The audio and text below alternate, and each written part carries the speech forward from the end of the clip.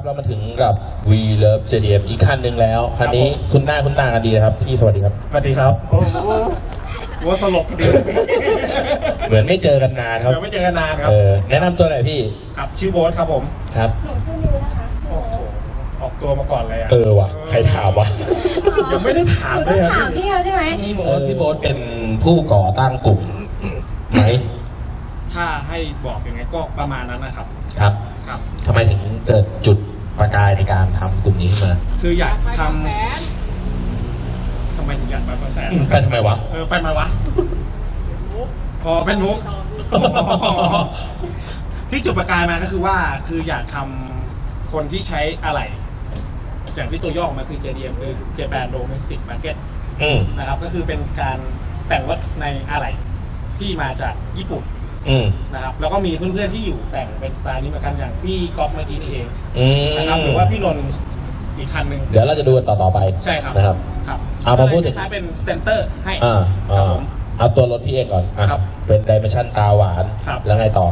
ตาหวานก็เป็นแนว RS ญี่ปุ่นครับ ครับ RS ญี่ปุ่น ใช่ แค่นั้น แค่นั้น ไม่มีอะไรก็เป็นบอดี้เป็นถ้าพูดง่ายๆคือเดิมๆญี่ปุ่นเลย อืมครับ คือแล้วจริงๆมันเป็นรถไทยไหมเป็นรถไทยอืมนะครับ แต่เอาของที่ทางญี่ปุ่นเขาใช้กันเป็นปกติของเดิมๆของเขาอะมาใส่อืมของเราให้เป็นแนวประมาณนี้ขอบคุณพี่บอลมากครับ เดี๋ยวไปดูคันต่อไปดีกว่า ชื่อนนท์ครับ ครับครับสเตปบอล RG หนึ่งเฮ้ยอันนี้มันเป็นชุดแต่งของมันเหรอ ใช่ครับมันคืออะไร ป้งป้องกันไฟไม่ให้ โดนแสงแดดแล้วทำไมเขาครอบมันไม่ไม่ครอบมันตั้งแต่โรงงานเลยสีมันแพงมันแพงสีมันแพงอ้าวเลยมีเวลาเปิดก็เห็นปกติ ใช่ครับ นี่คือเป็นดีไซน์ของญี่ปุ่นเขาใช่ครับ ของตัวรถหรือว่าเป็นชุดแต่งชุดแต่งครับอ๋อจริงผมไม่ค่อยสันทัดในในในในตัวบอดี้นี้เลยอะมันมีเสน่ห์ยังไง ก็ดูรวมๆแล้วมีเสน่ห์ ขอทำนองด้วยครับ เอาจริงๆพี่ ก็คนชอบแต่งรถแต่พี่ก็เห็นเลยครับ เราประมูลอะไรมาเองแล้วก็อยากได้เราจัดเต็มไปเลย อืม นี่เขาว่าพี่เป็นสาย JDM มาช้านานแล้ว นะก็รับรับหาอะไรแต่งอ๋อ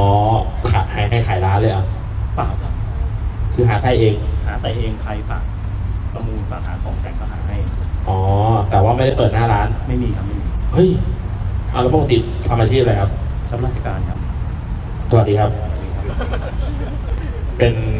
ข้าราชการยังไงพี่ ข้าราชการในพระองค์ขอโทษครับ เหมือนกำลังแบบว่ากำลังล่วงละเมิดอะไรทั้งอย่างครับพี่ผมขอโทษนะพี่ครับครับครับพี่ คือแค่ชอบแต่งครรับถครับ เท่านั้นเองพี่ครับ ผมไม่อยากคุยกับพี่เยอะผมกลัว ขอบคุณนะครับ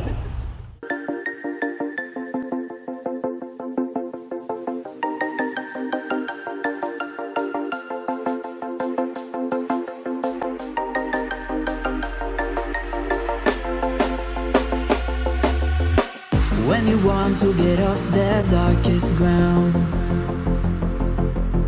but gravity pulls you straight down. Bird's eye view.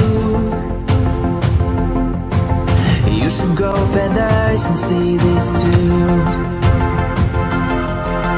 When you want to get off the darkest ground, but gra- ถามอาชีพก่อนดีกว่า หน้ามองผมทำงานฮะ ผมเหรอจะพูดยังไงครับ ครับ เออเป็นอาชีพส่วนตัวครับผม ครับไม่ไม่ไม่ไม่เป็นอันตรายต่อผมใช่ไหมครับไม่ครับผมโอเคครับพี่ชื่ออะไรพี่ชื่อต้นครับผมพี่ต้นครับ คนชื่อต้นรอทุกคนอยู่แล้วแน่นอนครับใช่ไหมยิ่งมีหนวดมีเขาแน่นอนสาวๆหลงไหลพี่ต้นครับผมจะขำทำไมล่ะพี่ต้นใช้รถอะไรพี่ซีวิกเอสครับผมครับเหมือนกันแดงเลยอืมไม่ต้องไปเหมือนกระแดงหรอกพี่เอาเหมือนเราดีกว่าเหมือนสไตล์ผมเลยครับผมครับครับสไตล์พี่เป็นยังไงพี่ ก็แนว JDM เหมือนกันครับผมครับก็ สนุกกับการแต่งก็หาอะไรญี่ปุ่นมาเติมรถครับผมอืมในรถที่พี่อะคิดว่าอะไรที่แบบว่า เอ้ยเป็นอะไรชิ้นเนี้ย มันหายากกว่าจะได้มาใส่มั้งไหมหายากครับ มันก็แทบทุกชิ้นเลยนะครับผมทำไมอะ ทุกชิ้นเลยเหรอ ใช่ครับผมอย่างที่ยังดูไฟเนี่ยครับผมทำไมครับ มันเป็นเลนส์ฟ้าติดฟิล์มเป็น ไฮบริดไม่ได้ติดฟิล์มครับ เป็นไฮบริด เฮ้ย รุ่นนี้มีไฮบริดแล้วเหรอ ใช่ครับผม สมัยนั้นมีไฮบริดแล้วเหรอ มีครับผม รถมันเป็นปีอะไรนะพี่ เป็นปี 04 เนี่ยแหละครับผมศูนย์สี่ครับผม มีไฮบริดแล้ว ครับผม นึกว่าไฮบริดน่าจะมีมารุ่นหลัง อ๋อ ประเทศไทยมันเข้ามาช่วงหลังๆ แต่แต่ที่ญี่ไทยปุ่นไม่มีครับผม คือคือไอ้พวกรถแบบแจ๊สไฮบริดใช่ซีวิกอัไฮนนี้บริดหลังๆอะไรแล้วครับผมอ่าเป็นช่วงหลังๆ แต่ว่าใช่ตอนนั้นคือญี่ปุ่นเขามีไฮบริดกันมาก่อนใช่แล้วครับผม อ๋อ มันก็เลยมีความเป็นจอฟ้า ใช่ครับผมเนี่ยครับ เป็นเลนส์ข้างในสีฟ้า อืม ก็ค่อนข้างที่จะหายากครับ แล้วมีอะไรที่ทีเด็ดอีก ทีเด็ดเหรอ ไม่มีครับก็เหมือนเหมือนกัน หายากทุกชิ้น ทีเด็ดทุกชิ้นครับผมเอาทีเด็ดตัวพี่เองดีกว่า ไม่มีดีกว่า แหมพี่ต้นทำไมต้องกลัวด้วยล่ะ นะโอเคขอบคุณพี่ต้นมากครับขอบคุณครับ สวัสดีครับ สวัสดีครับ แนะนำตัวพี่ ผมชื่อแต้มครับผมครับ ขัรถ Civic ES แต่งสไตล์แนวไฮบริดญี่ปุ่น ไฮบริดมาอีครักบแล้วนี่นี่คือเป็นไฮบริดแล้ว ใช่ครับผม จอจอไฮบริดเป็นซีนอนในตัวครับ ครับ นอกคือพอมันพอมันเป็นสไตล์ไฮบริดแล้วมันมีอะไรที่มันจะเป็นทีเด็ดแบบว่าหาของหายากไหมอ่าสลูปตรงรุ่นครับผม แล้วก็กระจกกับหลัง มีปัดน้ำฝนข้างหลังอืม ใช่ครับแต่ไฟหน้านี่หายาก ทำไมอะอืมมันแบบยังไงคนเขาเล่นเยอะครับ ตอนนี้คือของหาไม่ได้ น้อยมาก คือรถญี่ปุ่นเนี่ยมันใช่ มันมันรถตั้งแต่ปี 04 เพราะฉะนั้นซึ่งมันหมดอายุที่จะอยู่ในบ้านเขาไปนานแล้ว ใช่ครับ เพราะฉะนั้นของที่มีอยู่ก็เป็นของที่อยู่ในจังใช่ครับผมรอเข้ามาในไทย ถูกต้องครับ แล้วซึ่งบางทีก็สภาพก็อาจจะถูกหลงถูกลืม ใช่แตกมั่งอะไรมั่ง ครับใช่ครับมันเลยกลายเป็นของ rare item ใช่ แล้วตอนตอนนี้กำลังมี แนวไฮบริดนี่กำลังมาแรงด้วยครับ ของ Civic ES อืมใช่ครับแต่งได้ไม่จบเนาะให้จบครับพี่ อืม มีไมล์อีกนะพี่เนาะมีหน้าปัดไฮบริดอีกนะ เออ ใช่ มีมีไมล์ไฮบริดครับ ใช่ แล้วกรอบแอร์ของไฮบริดแล้วก็เบาะมีแอร์แบ็กข้าง โอ้โห นี่มันเหมือนเหมือนเหมือนรถปีใหม่ของประเทศไทยเลยเนี่ยฮะซึ่งจริงๆเป็นรถ04 04นี่ก็ประมาณ12ปีแล้วนะ ๆ ใช่ครับ ใช่ไหม ใช่ใช่12ปี ได้ใช่ 12 ปีแต่ญี่ปุ่นเขามีไฮบริดก่อนหน้าเราแล้วตั้งแต่ใช่ตั้งแต่ถูกต้อง12 ปี ครับผม แต่ของเราเพิ่งมาบูมไฮบริดเมื่อช่วงหลังนี่เองใช่ครับใช่ไหมครับโอเคครับขอบคุณพี่มากครับขอบคุณครับขอบคุณครับ ไม่เป็นไรครับว่า ต้องขนาดนั้นเลย สวัสดีครับครับ แนะนำตัวหน่อยพี่ชื่อเวอร์นะครับพี่เวอร์นะครับ อ่าครับไฮบริดหนึ่งแต่ว่าดูอย่างเงี้ยอาจจะไม่เคยเห็นเดี๋ยว01เลยเหรอใช่ตัวแรกของไทยเลย01ตัวแรกของไทย ใช่ตอนที่เป็นบอดี้ ES เนี่ยในไทยมีเข้ามาเป็นไฮบริดไหมไม่มีไม่มี ใช่ก็คือเป็น ES ธรรมดา ถูกต้อง Dimension ใช่ดิเมนชันศูนย์หนึ่งตัวแรกของไทยเลยแล้วก็ผมก็เอามาแปลงเป็นตัวไฮบริดครับ ของญี่ปุ่นก็จะเป็นไฮบริดศูนย์สามนะครับอ๋อสังเกตที่กระจังอะจะเหมือนกับคันเมื่อสักครู่แต่ว่าไฟจะเป็นตาหวานอืมอะมันก็ไม่มันก็ไม่เป็นเหมือนเป็นตัวเป็นตาเหี่ยว ใช่แต่มันเป็นตาหวานเป็นไฮบริดจริงๆไฮบริดศูนย์สามเนี่ยญี่ปุ่นเขามีมาก่อนที่จะเป็นตาเหี่ยวนะฮะ